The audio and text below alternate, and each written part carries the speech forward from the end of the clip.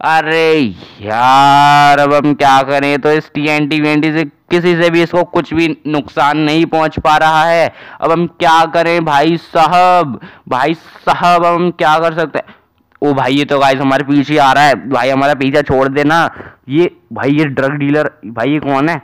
अबे, ये कौन है भाई? अच्छा तू लड़ेगा क्या? चलो भाई, तुम दोनों लड़ो भाई। हम तुम्हें गोल्ड तो दे ही दिए भाई। मेरे मिलियन दोस्त ने दिया है, क्योंकि गाइज़ मैं गरीब हूँ भाई।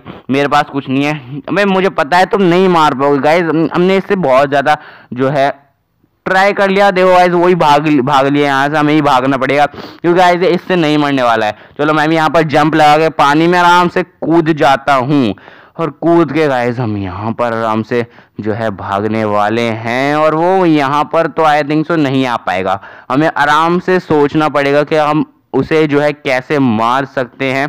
भाई, अब हम इस केव के अंदर अंदर जा रहे हैं। यहाँ पर एक माइन शाफ्ट हमको मिल चुकी है। यहाँ पर क्या ही होने वाला है? कॉब वेब्स वगैरह यहाँ पर लगे पड़े हैं। आज ओ ये कौन है? अभी तो यहाँ यहाँ का एक माइनर है। यहाँ यहाँ तो एक माइन करने वाला जो है यहाँ पर एक दोस्त हमारा है। भाई हम क्या करें?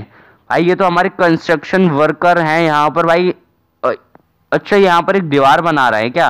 भाई, ये मिनियन दोनों मिनियन पता नहीं क्या क्या बात कर लेते हैं इन सबसे मुझे तो समझ में आता नहीं है क्या कर रहे हैं आखिरकार। भाई, इन्होंने ही बात किया है इनसे।